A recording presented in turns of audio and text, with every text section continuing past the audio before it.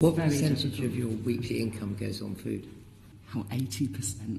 Sorry? About 80% of my weekly income.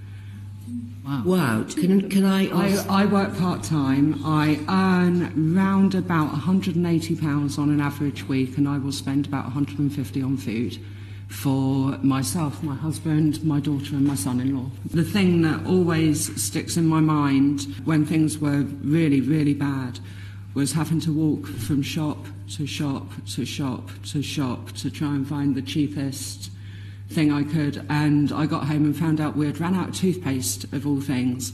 And I couldn't find a toothpaste for cheaper than £1.50, and I only had £1.50 left.